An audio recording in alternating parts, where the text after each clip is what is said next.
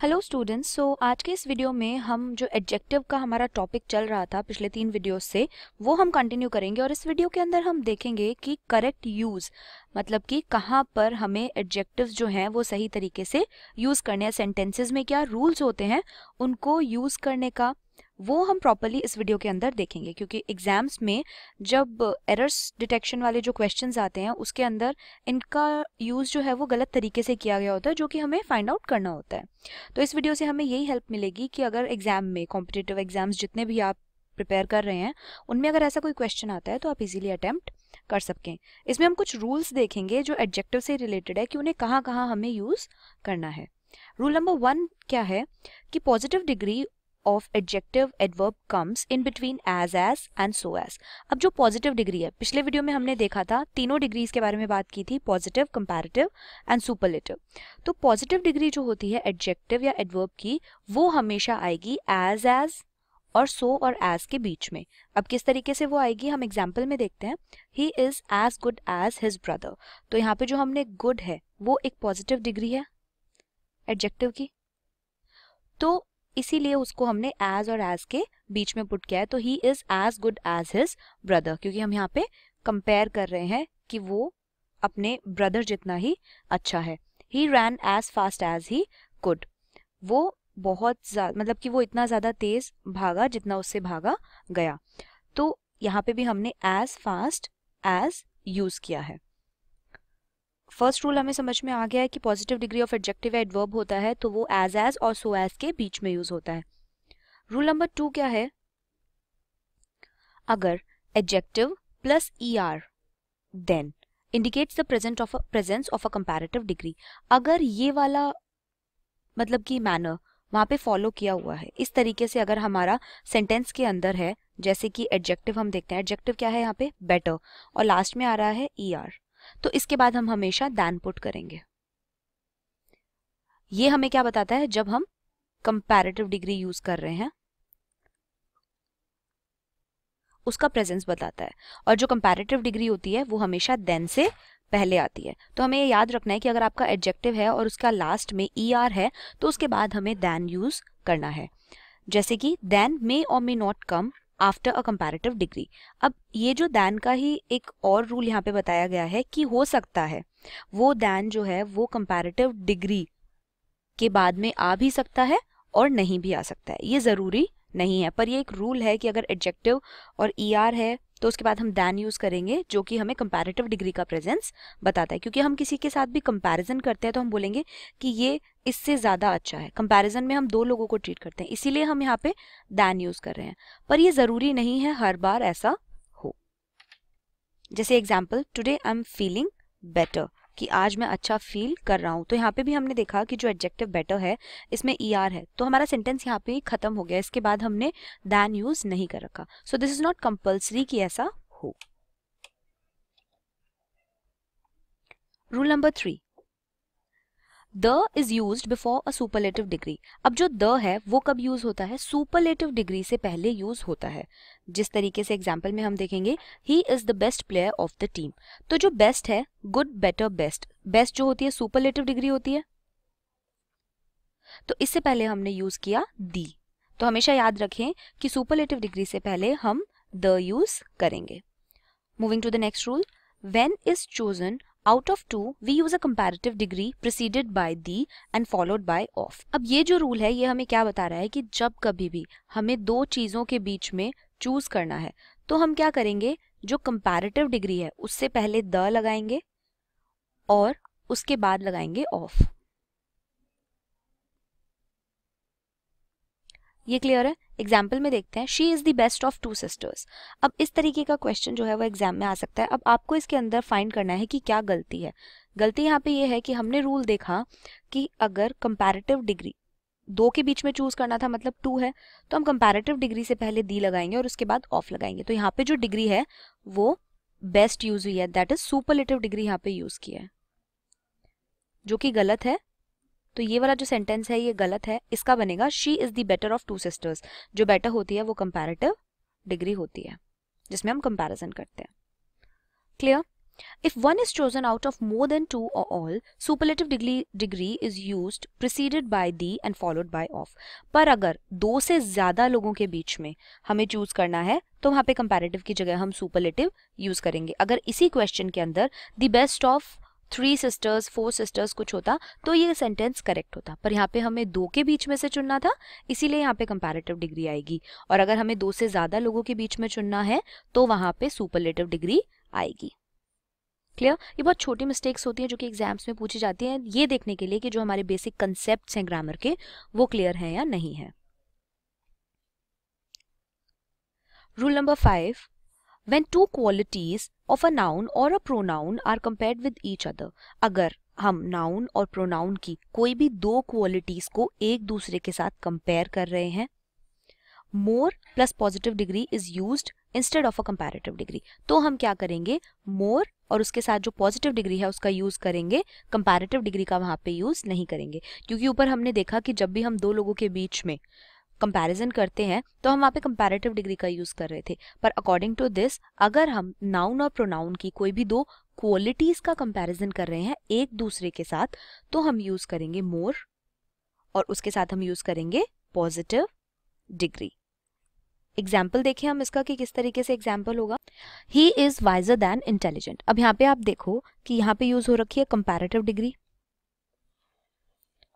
और मोर का भी यूज़ नहीं है। तो ये जो सेंटेंस है, ये गलत है। इसका सही सेंटेंस बनेगा क्योंकि हम यहाँ पे दो क्वालिटीज के जो है कंपैरिजन कर रहे हैं। नाउन और प्रोनाउन की। यहाँ जो प्रोनाउन है ही इसकी हम दो क्वालिटीज का कंपैरिजन कर रहे हैं एक दूसरे के साथ। इसीलिए यहाँ पे more plus positive degree use होगी, ना कि कंपैरेटिव डिग्री और दैन ये गलत हो जाएगा। तो सही क्या होगा? He is more wise than intelligent this is the correct क्योंकि यहाँ पे मोर यूज़ हुआ है और उसके साथ पॉजिटिव डिग्री यूज़ हुई है।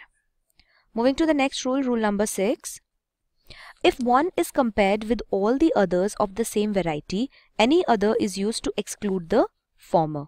अब इस रूल में क्या है? इस रूल में आपको ध्यान इस बात पे देना है कि अगर कोई भी एक चीज़ को हम कंपेयर कर रहे हैं उसी की मतलब कि स्पीसीज की या उसी की जाति की किसी भी चीज़ से जो कि अदर वेराइटी की है मतलब सेम तो है जैसे अब हमने यहाँ पे एग्ज़ाम्पल में मेटल्स की बात की है तो गोल्ड भी एक मेटल है। तो हमें अगर गोल्ड को एक्सक्लूड करना है बाकी मेटल्स से तो हम क्या करेंगे? एनी अदर यूज़ करेंगे, ताकि हम उसे अलग से बता सकें। यही बात यहाँ पे समझाई गई है रूल नंबर सिक्स में कि अगर हम कोई एक चीज़ को कंपेयर कर रहे हैं, उसी वैरायटी की बाकी चीज़ों के साथ तो हम एनी अदर यूज़ करेंगे उसको एक्सक्लूड करने के लिए। क्लियर तो एग्ज़ाम्पल देखते हैं gold is more precious than any metal जो गोल्ड है, वो बहुत ज़्यादा प्रीशियस है मतलब कि बहुत ज़्यादा कीमती है बाकी मेटल्स से। तो हमें यहाँ पे क्या बताया था कि हमें एनी अदर यूज़ करना है, अगर हम एक को कंपेयर कर रहे हैं, उसी वैरायटी की बाकी चीज़ों से। तो यहाँ पे हमने एनी अदर यूज़ नहीं किया, इसका मतलब ये गलत हो गया। यहाँ पे हम यूज़ करेंगे gold is more precious than any other metal any other से क्या हो गया, जो गोल्ड है, हमने उसको एक्सक्लूड कर दिया। क्लियर तो this is the correct sentence exam में इसी तरीके से क्वेश्चंस आते हैं, उनमें यही गलतियाँ होती हैं छोटी छोटी जो कि हमें नहीं पता होती बिकॉज़ ये जो रूल्स हैं, उन्हें हम सीरियसली नहीं लेते। तो इन रूल्स को आपको बहुत अच्छे से ध्यान रखना है, और जितने ज़्यादा क्वेश्चंस हो सके, आपको इनकी प्रैक्टिस करने हैं ताकि आप आराम से उस चीज़ को अटेम्प्ट कर पाओ एग्ज़ाम में। Moving to the next rule rule number seven, adjective that end in I O R are followed by to and not than. अब वो एडजेक्टिव्स जिनके लास्ट में आई ओ आर आता है, उनके बाद हम हमेशा टू लगाएँगे, देन नहीं लगाएँगे। जैसे ऊपर हमने ई आर आ रहा था, उनके साथ क्या किया था? दैन लगाया था, पर ऐसा हमेशा हो ज़रूरी नहीं है। ये जो एडजेक्टिव का रूल है, इसके अंदर है कि अगर एंड में आई ओ आर आ रहा है तो हम टू का यूज़ करेंगे, ना कि देन का। Clear superior inferior senior junior prior anterior posterior इन सभी वर्ड्स में लास्ट में आप देखो कि आई ओ आर आ रहा है। आ रहा है ना?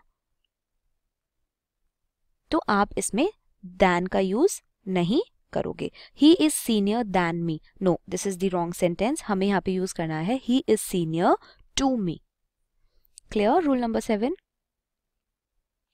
moving to the next rule rule number eight adjective like interior exterior ulterior major minor empty excellent circular extreme chief ये जितने भी मैंने यहाँ पे एडजेक्टिव लिखे हुए हैं, ये कभी भी कंपैरेटिव और सुपरलेटिव डिग्री के अंदर यूज़ नहीं होंगे। आप ये सारे एडजेक्टिव्स को लिख लीजिए अच्छे से, या फिर आप स्नैपशॉट ले लीजिए इसका, कि ये जितने भी एडजेक्टिव्स यहाँ पे लिखे हुए हैं, ये कभी भी इनकी कंपैरेटिव और सुपरलेटिव डिग्री के अंदर यूज़ नहीं होंगे। This is more inferior to that so यहाँ पे जो मोर इन्फीरियर है, वो क्या है? इसकी कंपैरेटिव डिग्री है। जो कि गलत है। हमें यूज़ नहीं करनी है, इसीलिए हम यूज़ करेंगे this is inferior to that this is the correct thing exam में यही क्वेश्चन आते हैं, इसी तरीके से आते हैं, जिनकी गलतियाँ हमें फाइंड करनी होती हैं, और इन रूल्स की मदद से हम इजीली इन ट्रिक्स की मदद से हम बहुत आसानी से ये सारी जो गलतियाँ हैं, वो फाइंड आउट कर सकते हैं। आपको ज़्यादा टाइम नहीं लगेगा अगर आपका कंसेप्ट क्लियर है इस चीज़ से रिलेटेड तो। नेक्स्ट है, जैसे good deeds are more everlasting तो हमने यहाँ पे एवरलास्टिंग के साथ मोर यूज़ किया है that is comparative degree again तो हमें वो यूज़ नहीं करनी है तो हम यहाँ से मोर जो है उसको हटा देंगे और ये हो जाएगा good deeds are everlasting. Moving to the next rule, rule number 9. Some adjectives are used in only positive and superlative degree and not in comparative degree. अब कुछ adjectives ऐसे होते हैं जो कि केवल पॉजिटिव और सुपरलेटिव डिग्री में यूज़ होते हैं कंपैरेटिव डिग्री में कभी भी यूज़ नहीं होते हैं एग्जाम्पल्स पॉजिटिव डिग्री या टॉप सुपरलेटिव होती है टॉप मोस्ट तो ये इन्हीं दोनों डिग्रीज में यूज़ होते हैं कंपैरेटिव डिग्री में यूज़ नहीं होते हैं। Northern northern most southern southern most तो इनका ध्यान रखना है हमें कि ये हमेशा इसमें यूज़ होते हैं। इसी तरीके से हम ईस्टर्न भी लिख सकते हैं eastern most and western also western most clear rule number ten adjective preferable is use in only comparative degree अब जो प्रेफरेबल एडजेक्टिव होता है ये कुछ एक्सेप्शंस हैं जिनके बेस पे ये रूल्स बने हुए होते हैं, जिनका हमें बहुत ज़्यादा ध्यान रखना है एग्ज़ाम में अच्छा स्कोर करने के लिए, क्योंकि एरर डिटेक्शन पे छः क्वेश्चंस आते हैं तो छः क्वेश्चंस बहुत ज़्यादा होते हैं। इन्हीं के बेसिस पे जो फिल इन द ब्लैंक्स वाला जो पार्ट आता है, जिसके करीब तीन से चार क्वेश्चन आते हैं, वो भी हम इन्हीं सारे बेसिक कंसेप्ट से वहाँ पे यूज़ करके, इन्हीं कंसेप्ट को यूज़ करके हम वहाँ पे उन्हें लिख सकते हैं। तो इनका ध्यान हमें रखना है। अब जैसे यहाँ पे एडजेक्टिव प्रेफरेबल है is use in only comparative degree ये केवल कंपेरेटिव डिग्री में यूज़ हो सकता है। हमें अगर ये बात नहीं पता और वहाँ पे अगर सुपरलेटिव में या पॉजिटिव डिग्री में उसको यूज़ किया हुआ है तो हमें एरर डिटेक्ट करना पड़ता है वहाँ पे। Clear preferable is followed by to and not than अब यहाँ पे हमें बताया स्नेक की प्रेफरेबल जो है, उसके बाद हमेशा टू आएगा दैन कभी भी नहीं आएगा। क्योंकि कंपैरेटिव डिग्री में हमने ऊपर देखा था कि हम दैन यूज़ कर रहे थे कंपैरिजन के लिए। पर प्रेफरेबल एडजेक्टिव के साथ टू आएगा दैन नहीं आएगा, या फिर हम मोर प्रेफरेबल इस तरीके से यूज़ कर सकते हैं। क्योंकि जो प्रेफर वर्ब है, उसके बाद हमेशा टू आता है दैन नहीं आता। एग्ज़ाम्पल देखते हैं this is more preferable to that तो हमने देखा यहाँ पे पहले मोर यूज़ किया then preferable and then to तो this is the correct sentence formation clear moving to the next rule rule number eleven if two adjectives are used for a single noun or pronoun and if both adjectives are connected by a conjunction both the adjectives must be in same degree अब ये क्या कहना चाह रहे हैं कि अगर दो adjectives को हम एक ही नाउन या प्रोनाउन के लिए या फिर जो दोनों एडजेक्टिव्स हैं वो किसी कंजंक्शन से कंजंक्शंस मतलब जब हम दो चीज़ों को किसी एक वर्ड से जोड़ते हैं उससे अगर वो जुड़े हुए हैं तो जो दोनों एडजेक्टिव्स हैं वो सेम डिग्री में होंगे वापस से मैं एक बार रिपीट कर देती हूँ कि अगर दो एडजेक्टिव्स जो हैं, वो एक ही नाउन या प्रोनाउन के लिए यूज़ हो रहे हैं और जो दोनों एडजेक्टिव्स हैं, वो एक कंजंक्शन से कनेक्ट है, एक कंजंक्शन से जुड़े हुए हैं तो दोनों एडजेक्टिव सेम डिग्री के होंगे अलग अलग डिग्रीज के नहीं होंगे। ऐसा नहीं यूज़ कर सकते आप कि एक कंजंक एक जो एडजेक्टिव है वो पॉजिटिव का यूज़ करो, दूसरा सुपरलेटिव करो। नहीं, दोनों एडजेक्टिव्स की जो डिग्रीज होंगी, वो सेम होंगी। एग्ज़ाम्पल देखते हैं। Gandhi ji was noblest and wiser of all the leaders अब यहाँ पे देखो आप कि ये जो दोनों एडजेक्टिव हैं, ये किसके लिए यूज़ हो रहे हैं? गांधी जी के लिए यूज़ हो रहे हैं। पर इसकी तो इन्होंने सुपरलेटिव डिग्री यूज़ की है और इसकी कंपैरेटिव डिग्री यूज़ की है, जो कि गलत है। हमें दोनों के लिए सेम डिग्री यूज़ करनी है, इसीलिए Gandhi ji was the noblest and wisest of all the leaders यहाँ पे जो डिग्रीज हैं, वो दोनों की सेम होंगी सुपरलेटिव डिग्री दोनों के लिए यूज़ हुई है। क्लियर तो इस तरीके से हम देख सकते हैं। Moving to the next one rule number twelve If the is used before an adjective, the adjective becomes a plural common noun. It will hence take a plural verb. अब रूल नंबर ट्वेल्व क्या है कि अगर the use कर रहे हैं हम किसी भी एडजेक्टिव से पहले तो जो एडजेक्टिव है वो प्लूरल कॉमन नाउन में चेंज हो जाता है ये बात आपको याद रखनी है, इसीलिए वो प्लूरल वर्ब ही लेगा। एक सेंटेंस के अंदर अगर हम द यूज़ कर रहे हैं किसी भी एडजेक्टिव से पहले तो जो वो एडजेक्टिव है, वो प्लूरल कॉमन नाउन में चेंज हो जाएगा और इसीलिए उसके साथ जो वर्ब यूज़ होगी, वो भी प्लूरल ही यूज़ होगी। एग्ज़ाम्पल देखते हैं अपन। क्या है? Rich poor needy aged blind dead meek wicked etcetera अब ये जितने भी एडजेक्टिव्स हैं, इनके पहले अगर हम द यूज़ कर रहे हैं तो जो वर्ब है, वो भी हम प्लूरल ही यूज़ करेंगे और वो किसमें बदल जाएगा? एडजेक्टिव प्लूरल कॉमन नाउन में बदल जाएगा। Example the rich usually exploit the poor तो यहाँ पे जो द रिच है, उसका मतलब है रिच पीपल और द पुअर है, उसका मतलब है पुअर पीपल तो ये जो एडजेक्टिव था, ये प्लूरल कॉमन नाउन में यहाँ पे चेंज हो गया। प्लूरल कॉमन नाउन में यहाँ पे चेंज हो गया है और यहाँ पे भी ऐसा ही हुआ है। क्लियर नेक्स्ट है द ऑनेस्ट आर रिवॉर्डेड अब यहाँ पे जो द ऑनेस्ट है मतलब ऑनेस्ट पीपल तो ये प्लूरल कॉमन नाउन में चेंज हो गया है। इसलिए जो हमने वर्ब यूज़ किया है यहाँ पे, वो भी प्लूरल वर्ब ही यूज़ किया है। सॉर्टेड नेक्स्ट रूल देखते हैं। Rule number thirteen if adjective of size colour age etcetera comes together in a sentence, they should be used in the following order. अब एक ही सेंटेंस के अंदर कई सारे एडजेक्टिव यूज़ हो रहे हैं, जो कि कोई साइज़ के बारे में क्वालिफाई कर रहा है, कोई कलर कोई age shape origin material purpose तो उसके लिए एक ऑर्डर होता है, और वो ऑर्डर होता है, पहले ओपिनियन आएगा देन साइज़ आएगा देन एज आएगी देन शेप आएगा then colour then origin then material and then purpose तो ये जो ऑर्डर है, आपको ये फॉलो करना है. One two three four five six seven and eight clear तो अब इस एग्ज़ाम्पल के अंदर हम देखते हैं, क्योंकि ये सारे एडजेक्टिव्स जो हैं, वो इस एग्ज़ाम्पल के अंदर यूज़ किए गए हैं तो हम इनका ऑर्डर देखते हैं. I bought beautiful tiny heart shaped purple American diamond wedding ring तो यहाँ पे जो ब्यूटिफुल है दिस इज़ द ओपिनियन कि वो चीज़ सुंदर है. Tiny is the size heart shaped is the shape यहाँ पे एज की बात नहीं हुई है तो हमने उसे स्किप कर दिया. Colour American is the origin. Material is diamond.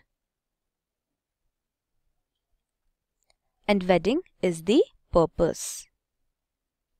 तो हमने ये वाला ऑर्डर जो है वो यहाँ पे क्लियरली फॉलो किया ठीक है समझ में आ गया ये वाला ऑर्डर कैसे फॉलो करना है तो इसे हम याद किस तरीके से रख सकते हैं इसे हम याद रखेंगे O S A S C O M P O S A S C O M P origin size age, shape, color, sorry, opinion, size, age, shape, color, origin, material and purpose. Clear? Moving to the next one. इसके examples यहाँ पे मैंने आपको लिखे हुए हैं कि opinion किस तरीके के हो सकते हैं साइज़ एज शेप इन सभी के एग्जाम्पल्स हैं लाइक ब्यूटीफुल साइज़ में बिग स्मॉल टाइनी शेप में round oval heart shaped etcetera तो ये सारे एग्जाम्पल्स हैं यहाँ पे एक नोट है यहाँ पे जो कि हमें ध्यान रखना है कि टॉल डार्क एंड हैंडसम और fair and beautiful are such common examples that have opinion after colour अब ये जो एडजेक्टिव्स हैं tall dark handsome fair beautiful ये किसके एग्जाम्पल्स हैं? ये ओपिनियन के एग्जाम्पल्स हैं, क्योंकि कलर के तो हैं ही ये बट इसके साथ ये ओपिनियन में भी यूज़ हो सकते हैं। तो आपको सेंटेंस के अकॉर्डिंग देखना है कि वहाँ पे वो ओपिनियन दिया गया है या वो कलर मेंशन किया गया है। Fine Moving to the next rule, rule number 14. Two comparative and two superlative degrees never come together. दो comparative और दो superlative degree कभी भी एक साथ नहीं आएँगी. He is the most cleverest of all the officer. No. Comparative और सुपरलेटिव डिग्रीज जो हैं दो वो कभी भी साथ में नहीं आती हैं तो जो यहाँ पे मोर और बेटर है ये दोनों ही कंपैरेटिव डिग्री है ये दोनों एक साथ नहीं आ सकते हैं यहाँ पे इसका जो सही होगा, इसलिए सेंटेंस गलत हो जाता है and this is better than that ये जो सेंटेंस फॉर्मेशन होगा, ये ठीक होगा। इसी तरीके से मोस्ट क्लेवरेस्ट में भी क्या है? दोनों यूज़ किए गए हैं सुपरलेटिव डिग्रीज तो ये दोनों गलत हैं। सही होगा he is the cleverest of all the officers fine दो एक साथ नहीं यूज़ कर सकते हो आप। मोस्ट भी यूज़ कर रहे हो क्लेवरेस्ट भी यूज़ कर रहे हो, नहीं, गलत है। रूल नंबर फिफ्टीन क्या है? If different preposition are needed with different adjectives, suitable prepositions must be used with each of them. अब इसके अंदर इन्होंने क्या बोला है? इन्होंने सिर्फ़ इतनी सिंपल सी बात बोली है कि अलग अलग prepositions अगर चाहिए हमें अलग अलग adjectives के साथ तो suitable prepositions हम उनके साथ यूज़ करेंगे। जैसे कि ये दोनों यहाँ पे क्या है? Adjectives है। अब इनके साथ हमें क्या preposition जोड़ना है? इसमें इसने क्या लगाया? He is senior and more experience than you ये गलत हो जाता है। हमें प्रॉपर प्रपोजिशन इनके साथ यूज़ करने हैं, जैसे कि he is senior to not seniors senior to and more experience than you तो हमने एक जगह टू और एक जगह दैन प्रॉपरली इसमें यूज़ किया है। अगला देखते हैं हम रूल नंबर सेवनटीन क्या है? Many nouns are a part of hyphenated और compound adjectives they never come in plural form अब वो नाउन्स जो कि हाइफेनेटेड और कंपाउंड एडजेक्टिव्स का पार्ट होते हैं। हाइफेनेटेड मीन्स जिनके बीच में ये लगा हुआ होता है। ठीक है? और वो वाले कंपाउंड एडजेक्टिव्स वो क्या होते हैं? प्लूरल फॉर्म का पार्ट मतलब कि वो कभी भी प्लूरल फॉर्म में नहीं आते। तो I delivered a two hours lecture तो यहाँ पे जो टू आवर्स हाइफेनेटेड था तो यहाँ पे ये गलत हो जाता है। आवर्स यूज़ नहीं करेंगे। हमने कहा है कि ये प्लूरल फॉर्म में नहीं आते हैं। तो I delivered a two hour lecture this is the correct sentence कोई भी कंपाउंड एडजेक्टिव है या हाइफेनेटेड एडजेक्टिव है तो वो प्लूरल फॉर्म में नहीं आएगा। He gave me two hundred rupees note तो अब यहाँ पे जो टू हंड्रेड रुपीज़ एडजेक्टिव है हाइफेनेटेड ये गलत है क्योंकि हमने यहाँ पे रुपीज़ यूज़ किया है। He gave me two hundred rupee note this is the correct sentence formation clear hyphenated और कंपाउंड एडजेक्टिव्स का एग्ज़ाम्पल देख लिया हमने। Moving to the next rule rule number eighteen possessive case comes after all and both and not before them अब जब भी हम possessive case use करेंगे तो उसके बाद ऑल और बोथ ज़रूर लगाएँगे। पोजेसिव केस कौन सा होता है? जब हम अपना अधिकार किसी चीज़ पे दिखाते हैं पोजेशन दिखाते हैं, अपने बारे में बात कर रहे होते हैं या फिर किसी और, जैसे your self them selves my our तो यहाँ पे हम पोजेशन दिखा रहे हैं। तो इस केस में क्या होगा कि जो पोजेसिव केस होगा, वो हमेशा ऑल और बोथ के बाद में आएगा, उनसे पहले नहीं आएगा। Example my all friends have got selected तो ये गलत है।